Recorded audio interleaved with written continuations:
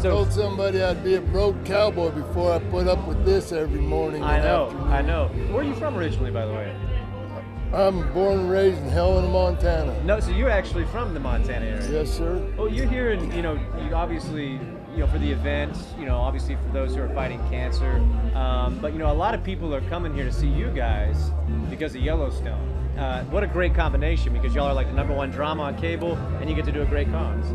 Yes, it is a great deal. Uh, but the, the people we're able to help and the, hopefully put some change in the world from this platform is one of the blessings of being on the show.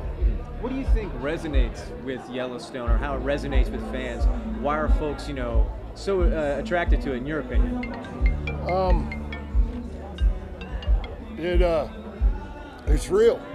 It's really happening out there, and uh, I think people can relate to the dysfunctional family. Uh, there's a lot of that in the world, and and uh, Taylor's built some really great characters, uh, and uh, it's easy for actors to get into that character the way he's built them, and everybody does such a good job. And I think just a combination of the writing and the acting has just brought people to it. What do you think is one of the last questions I have here? What do you think the response has been like for season four? Because season four is kind of like it's where it's gotten real juicy. Yeah. And I know you've gotten into some issues, obviously, with you know your character on on the on the pages there. Uh, how do you feel like season four is going? And are you enjoying uh, seeing it play out and watching the fans enjoy it? Yeah, um, it's uh, it's great to for me. I've been in the business for 30 some years, and this is the juiciest part I've ever had, and I get to show. Thank you, Taylor.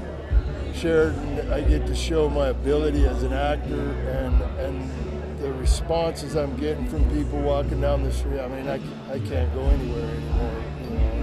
And like just walking in here tonight, you know, hey, how long did it take that black guy out washed off in the shower? You know, um, just all the love and, and uh, from everybody. It's, it's just kind of over, almost overwhelming.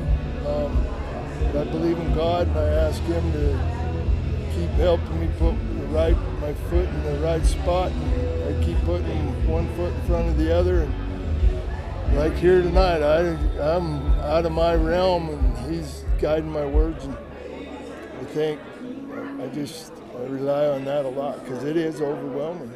It's it's wild.